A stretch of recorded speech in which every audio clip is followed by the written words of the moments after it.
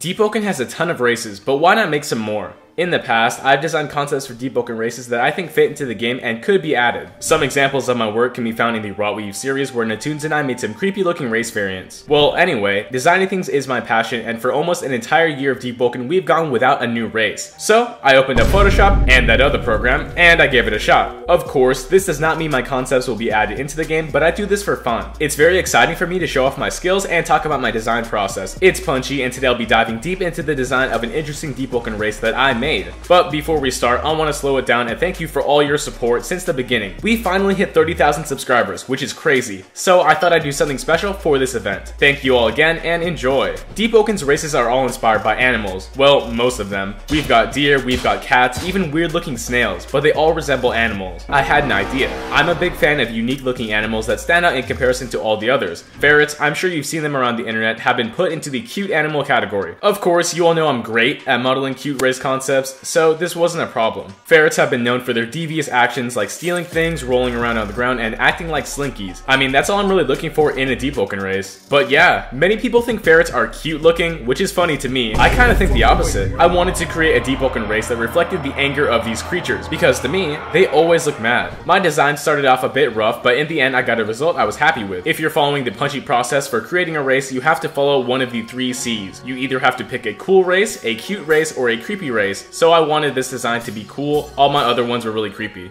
Starting off with the eye design for this race, I was looking for something unique. The first design had some giant looking X eyes that I honestly was not happy with. I think it's best to avoid circular patterns for the eyes because it would look way too similar to Ganymede. After playing around with the eye design, I tried adding some symbols to spice it up. Some ideas for the eyes were Sharingans or runes, but I felt like circular rings did the job correctly. This eye design was inspired by the character Makima from Chainsaw Man. For one version, I even tried on some Deepwoken symbols just to see what it would look like. It's funny, but I'm glad this choice did not make it to the final draft. At this point, I kinda hit a wall with the eye design, so for now I focused on the markings behind the eyes. Ferrets have this band around their eyes that's almost like a raccoon, and trying this out was quite the challenge. The facial markings started simple with a gradient color and some puffy eye symbols, but I eventually cleaned it up into these leaf looking things. It's not too realistic, but I was going for a fantasy ferret anyway. Rough draft time was coming to a close, and I felt like I needed to add some type of animal characteristic so people would know that it was a ferret. Personally, I don't like adding cat ears, tails, or even whiskers, but every single animal race has something like this. So, whisker designs were played with, and the facial features were almost complete, but the eyes still pissed me off. At the end, I eventually tidied up the eyes and made them into more of a squint, and eventually added some more racial characteristics. Some ferrets are kind of fluffy and almost have a mane around their neck. So, I was inspired by this and some type of otter Pokemon, I came up with some neck fur that would be an optional cosmetic. And here's my final concept. As you can see, these little ferret thingies are very angry, but if this was added, I assume different emotions and scars could be added to spice it up. These ferrets are even smaller than the axolotl race, standing at 75% of the original character height. I know this wouldn't work in game, and I know it's not a good idea, but head moderator Hori TM, aka my boss, just really wanted to see a mini race just for fun. Now, on to the hard part. Lore, variants, and a goofy name. So, Ferrets, what could be a good name for them? Well, I think they're always angry, almost full of anger. So, the name became Angerfuls. With the name in mind, the original Angerful's white and gold design became the cinnamon variant, but I didn't just stop there. I made a black and white variant, which I called the masked Angerful, and a brown and yellow one, which is the chocolate variant. I'm just a crazy guy, and I'm not really sure why I named some characters after food, but we all know even the greatest characters are named after food. I'm not the best at making up lore, but the main idea for the Angerfuls is that they're extremely rare and extremely mad. Ever since the authority pulled up, they've been sitting in silence, just raging and preparing to strike back. That's all I really came up with.